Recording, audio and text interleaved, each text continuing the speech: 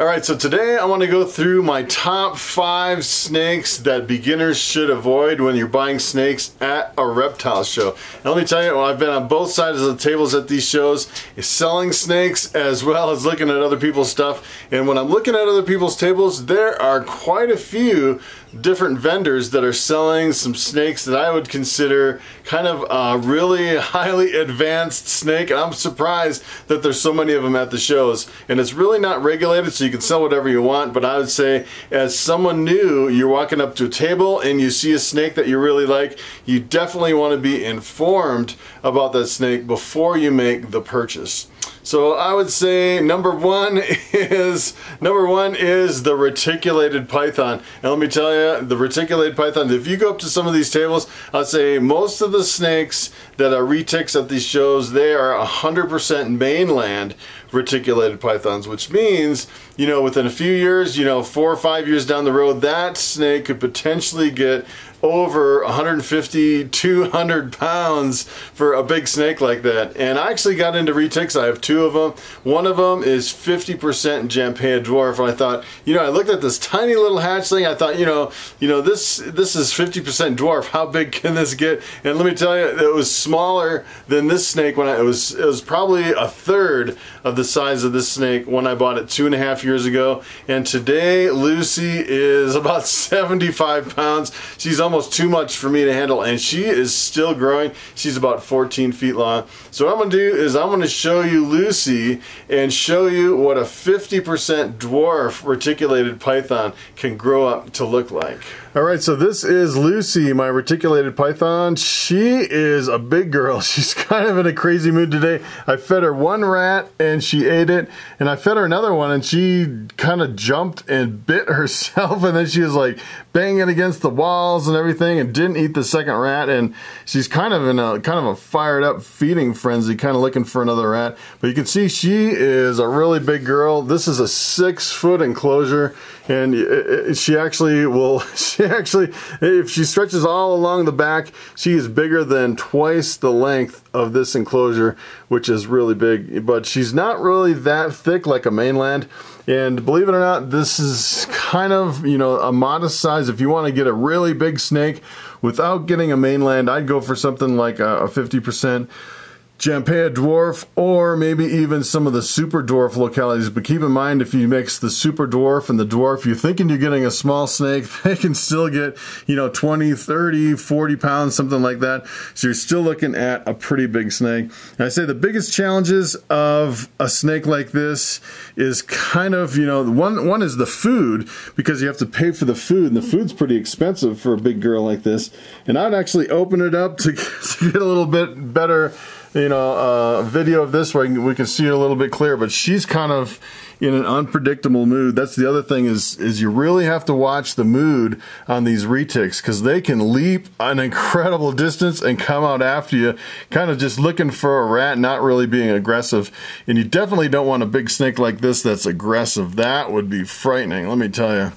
And the other thing, probably the biggest thing that I struggle with this girl is chasing the enclosure size. So you start with a little tiny hatchling in your hand and it gets bigger and bigger and you go into a bigger tub and I went to a boa tub and then finally I went to this one and I probably spent, you know, I, I spent a lot of money kind of chasing the enclosure sizes, you know, from one to the other and almost, you know, she's almost to the point where, you know, ideally she could almost be in like a zoo type setup where you could have like a 10 by 10 room or maybe even a 10 by 20 and then have like a little pond and something to climb on and a bunch of stuff like that. That would be really the ideal setup for a girl like this instead of, you know, just in an enclosure sitting like this on my pool table in my basement. So I would say, you know, as far as retics, they're really cute when they're small, but let me tell you, they get really big and they are a challenge. All right, so the number two snake that I would avoid if I was a beginner getting my very first snake that would be a green tree python. And you may have seen them before. Essentially what it is is, is it's a snake on a stick. They just kind of wrap up on a stick and just sit in the enclosure. And they don't really do anything. They just kind of sit there. It's, it's a really interesting display animal. You know, if you always want to see your snake out in the open and on display, it's kind of cool. Whereas if you got a ball python in a glass tank with a hide, the ball python's always going to be in the hide. It looks like you have an empty tank. Whereas a green tree, uh, they're out in the open. Another good thing about the green trees is they are extremely colorful. They usually start out like a bright yellow or blue or a bright red and they, they all turn green as they mature and it's a pretty interesting snake. The problem is, is you really can't handle a green tree python. It's one of those ones that, you know, I've seen some people try to handle their green trees and, and you can if you're really slow and methodical and you take them off of the, the, the kind of the branch that they're coiled up on, you, you kind of approach them at a certain angle, but it's not like a ball python like this where you can just kind of mess with them and you're not going to get bit. you don't want a green tree python like on your neck like this. It's pr probably a bad idea. As a matter of fact, I've seen a lot of people uh, say that the green tree pythons have the biggest teeth and the most painful bites of all snakes. So that's another thing to consider. So what I'm gonna do real quick is I'm gonna show you uh, what a green tree python looks like. We'll just do an image search on Google. If you haven't seen one, you know, it's pretty interesting. Let's check it out. All right, so this is what a green tree python looks like. And let me tell you, I am no expert when it comes to green tree pythons. As a matter of fact, I saw on a video, someone said that all of them turn green as they mature into adults. But I'm starting to wonder if that's really the case because I'm seeing a lot of them where, you know, it looks like, especially like this one right here, this one looks like it's pretty old and it still has a lot of the blue coloration instead of just the green. So I was, I was thinking maybe they don't actually all turn green as adults. And if you look at some of these colors, they are really amazing. You got some reds. I mean, some of these are just really wild looking. That's pretty, pretty incredible. So, you know, they're, they're really colorful snakes. They're really good display animals. One thing you just have to keep in mind is you really can't handle them very much. And that is one of the big things you have to keep in mind when you buy a green tree python. All right, so the number three snake that I would recommend beginners steer clear of, that is the blood python. And really the blood python's kind of, uh, kind of in a gray area, I would say, because it can be a really nice snake. So I, I've actually seen a lot of big breeders work with blood pythons and if you don't tame them down as, as a small snake and really socialize them really well, they can get extremely defensive. As a matter of fact, I've seen some breeders trying to clean the tubs on some of their blood pythons and they're so defensive they can't even get in there to clean the tub because the blood python is just kind of going crazy. And it's it's kind of like the opposite with a ball python. For, like a ball python, you could put it in a tub for two years and just keep throwing rats in and then at the end of two years, you pull it out and socialize it for the first time, and it's pretty tame. As a matter of fact, you don't really need to socialize these. As a matter of fact, when I went to the show, there's a lot of people coming up to my table and say, hey, how much work did you put into these snakes to get them so tame? And I don't really work with them at all, and they're just tame by nature. And I would say a blood python is pretty defensive by nature. But I've seen some really nice, beautiful, large blood pythons that people have worked with for a long time and they are puppy dog tame. So really if you're getting a blood python I would recommend getting a small one and socializing that snake a lot.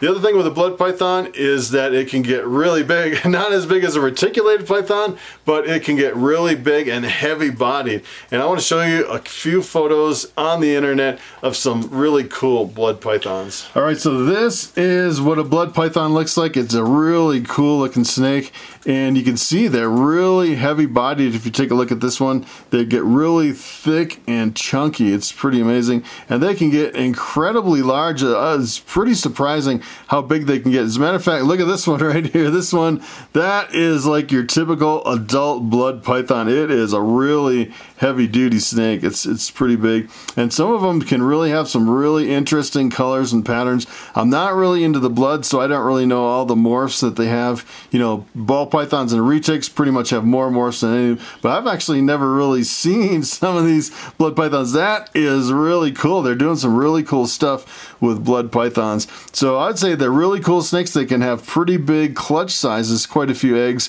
and you know it, they get really big and impressive. Blood pythons are pretty cool, but if you get a blood python, I would definitely tame it down as much as possible. All right, the number four snake on my list would be the Brazilian rainbow boa, and the biggest mistake most people make is not keeping the humidity high enough. It needs a humidity of 70% or above, and as a matter of fact, if you got that snake, brought it into like a 10% humidity here in Colorado, it would not survive very long. And the problem is, is if you don't constantly check and make sure the snake has the high humidity, if you let it dry out for just a few days even, I've heard where you can actually kill your snake from low humidity.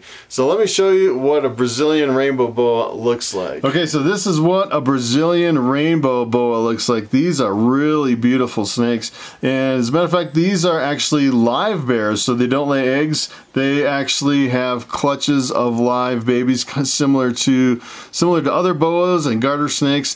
The other cool thing about this snake is it has an iridescent sheen to it, which is pretty cool, similar to the golden child reticulated python. And there's a lot of people that actually keep them and breed them. Look, there's a whole bunch of, here's a whole clutch of baby Brazilian rainbow boas, which is pretty incredible. So they're, you know, they're not impossible to keep. I would say you can keep them. Just don't ever let them run out of moisture or humidity in their hide. All right, so before I give you my last snake, I have to put out a disclaimer. I would say that you could actually keep and breed a lot of these snakes. They make really good pets. You just have to know what you're getting into when you buy one of these snakes. And it's not a snake that a beginner should have, I think, for the very first snake, just kind of walking into a reptile show and bringing a snake or buying it for your kid or something like that. You definitely need some experience with some of these snakes. And number five on my list, which I've actually seen at the local shows here quite a few times, that is the green anaconda. And let me tell you, that snake, that is the heaviest snake in the world. It's not necessarily the longest. The, the reticulated python holds the record for the longest snake, but the anaconda, specifically the green anaconda, holds the record for the heaviest snake. So you're talking about, you know, an adult anaconda that can get upwards of 200 to 250 pounds. That is a huge snake. And let me tell you, anacondas are a completely different ball game. Anacondas are live bearers, which is kind of interesting. And in the wild, they spend most of their time in or around water. As a matter of fact, if you go up to a lot of these zoo exhibits, they'll have this green anaconda mostly underwater with just kind of their nose sticking up out of the water. And it's kind of interesting to watch them feed them. They grab something like a rabbit and pull it underneath the water and eat it. It's pretty amazing to see an anaconda in action.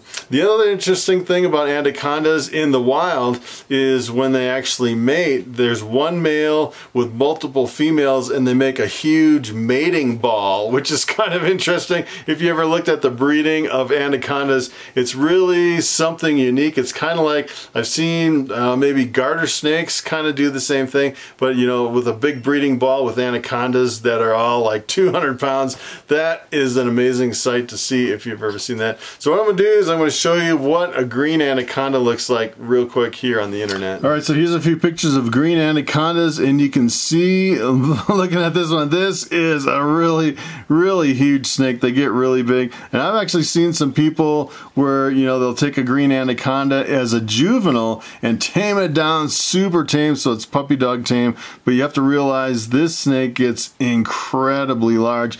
Let me go over to this page here. This is an example of how big a green anaconda can get. It is a really big snake. All right, so those are the five snakes that I think beginners should avoid when, if you do jump into one of these projects, I would say jump in with extreme caution and be knowledgeable of the snake that you're getting. Because I've actually gone to these reptile shows and you see this whole table full of little deli cups full of snakes. I mean, hundreds of them. And you walk up and you pick one up and I actually looked at one and I was like, I can't believe in this little cup right here, this is a green anaconda. It kind of just you know blew me away that there's a green anaconda at one of the local shows and someone could just come up spend a couple hundred bucks and walk away with a green anaconda. And you don't want to get home not knowing what you're getting into when you get down the road and pretty soon you're feeding it rabbits and it's a 200 pound snake and you're thinking about you know building out a whole room. As a matter of fact you know for one of these snakes I would say you'd probably want to have some kind of an aquatic set up on one side land on the other and probably like a 10 by 20 foot enclosure for some of these snakes almost like kind of a zoo exhibit for some of these snakes. So you really have to think about what you're getting into when you jump into some of these projects. So that's it. Thanks for watching and I will see you next time